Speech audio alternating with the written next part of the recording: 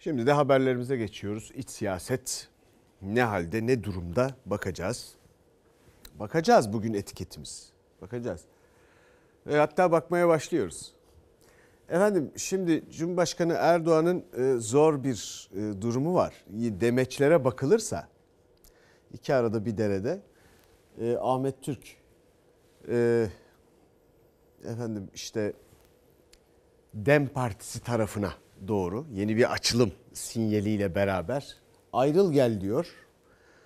Yani nereden Cumhur İttifakı'ndan mı neden belli değil. E, öbür tarafta Milliyetçi Hareket Partisi Genel Başkanı ve Cumhur İttifakı ortağı e, Devlet Bahçeli ayrılamazsın diyor. Gelin diyalog başlatalım başlasın. MHP ile ittifakları olduğu müddetçe de bu gündeme gelmez. Ancak MHP'den koparlarsa mecburen yeni bir yol izleyecekler. Benim için bu bir final. Bu seçim son seçim. Buradan Sayın Cumhurbaşkanımız Recep Tayyip Erdoğan'a diyorum. Ayrılamazsın.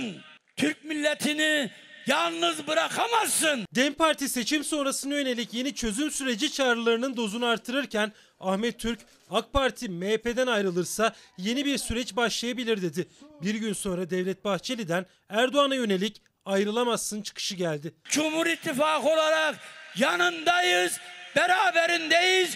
Yeni yüzyılın kurtarıcı lider olarak sizi görmek istiyoruz. Kurtarıcı lider Atatürk'tür. Erdoğan Türkiye'yi neden kurtaracak? Erdoğan AKP Genel Başkanı olarak kurtarıcı liderse MHP'ye ne gerek var? Kapatın partiyi, AK Parti'ye katılın. Zafer Partisi Genel Başkanı Ümit Özdağ'ın Bahçeli'ye tepkisi ancak MHP liderinin sözlerini o da olası yeni çözüm süreciyle ilişkilendirdi.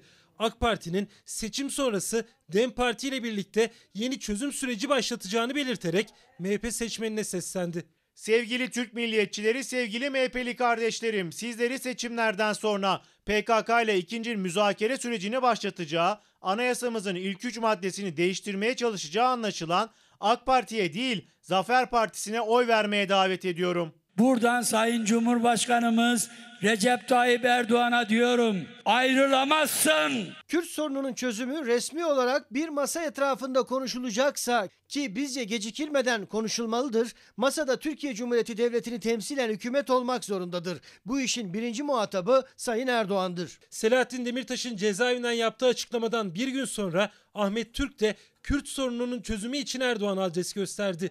AK Parti ile görüşüyoruz derken Cumhurbaşkanı Erdoğan'la görüşmenin AK Parti MHP ittifakının gidişatına bağlı olduğunu belirtti. Resmi görüşmelerimiz yok ama meclisten isimlerle görüşüyoruz. Onlar da partilerinin bugün izlediği politikaya karşı rahatsızlıklarını da dile getiriyorlar. MHP ile ittifak onlar için de ağır bir yük olmaya başladı. Buradan Sayın Cumhurbaşkanımız Recep Tayyip Erdoğan'a diyorum. Cumhur İttifakı olarak yanındayız. DEM Parti'nin yeniden çözüm süreci çağrıları Bahçeli'nin Erdoğan'a yönelik ayrılamazsın çıkışı.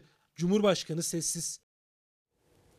Şimdi bunu ilk duyduğumda ben canlı seyretmedim.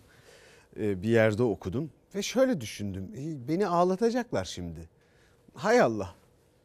Yani siyasette bu nasıl vefa, nasıl bir şey kurtarıcı lider.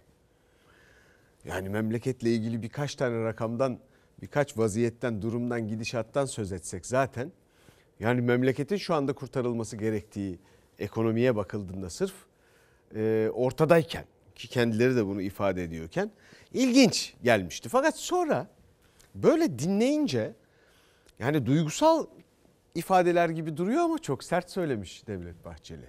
Dolayısıyla ilginç yani oradan çıkan çelişkiyi anlamaya çalıştık biz de bugün. Öbür tarafta da başka bir takım e, görüyorsunuz.